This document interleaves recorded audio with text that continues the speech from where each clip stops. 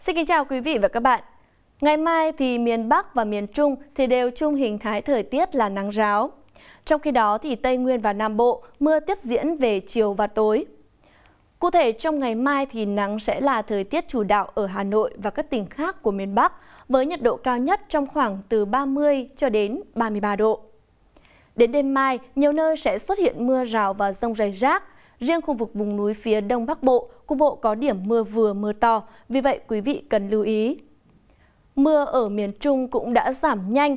Ngày mai các tỉnh từ Thanh Hóa trở vào đến Bình Thuận đều nắng ráo, với nhiệt độ cao nhất hầu hết đều dưới 33 độ. Dự báo đến khoảng cuối tuần này thì mưa sẽ quay trở lại ở khu vực Bắc và Trung Trung Bộ. Đối với ở các tỉnh của khu vực Tây Nguyên và Nam Bộ thì nắng cũng duy trì từ sáng đến trưa với nhiệt độ cao nhất trong khoảng từ 29 cho đến 33 độ. Riêng khu vực Nam Bộ cảm giác khá nóng, có nơi 34 độ.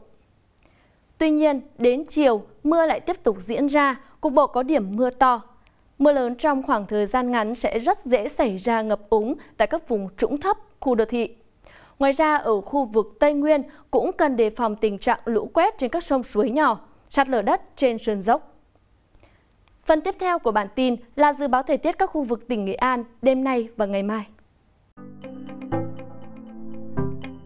Khu vực đồng bằng ven biển, đêm và sáng có mưa rào và rông rải rác, trưa chiều hứng nắng, gió bắc đến đông bắc cấp 2 cấp 3, nhiệt độ 23 đến 29 độ, độ ẩm 80 đến 85%. Khu vực Trung Du và vùng núi, đêm và sáng có mưa, mưa rào và rông vài nơi, trưa chiều hưởng nắng, gió bắc đến đông bắc cấp 2, nhiệt độ 22 đến 31 độ, độ ẩm 75 đến 85%.